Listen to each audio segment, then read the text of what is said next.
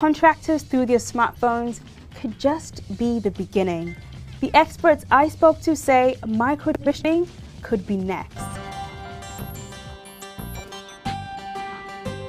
I am freaked out by this, but I'm more curious than anything else. So let's go speak to the brains behind this new technology.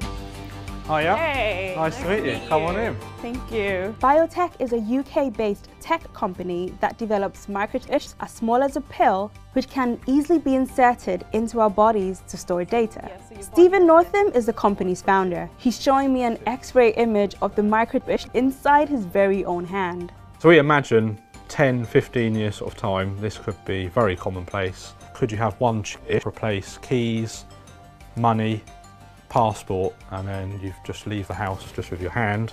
Once the 8 kilobyte chip is in your hand, it emits low frequency signals read by a scanner that identifies the unique ID in the microchip. Steven uses his microchip in the office, at home, and even to start his car, but he's not using it to monitor his employees.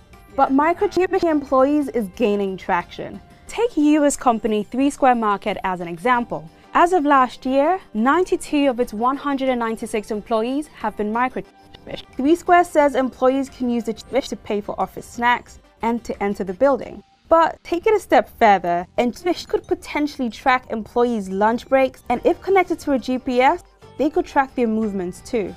That's a red flag for the growing number of people concerned about the security of their personal data. But Steven tells me they've already thought that through.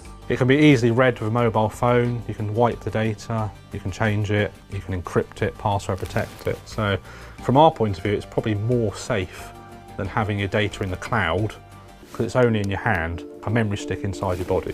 If we can have the Attorney General, in his opinion, find that a subcutaneous implant is non-invasive, then we could do that. I can guarantee you the program will ultimately be used to involuntarily place tracking information on people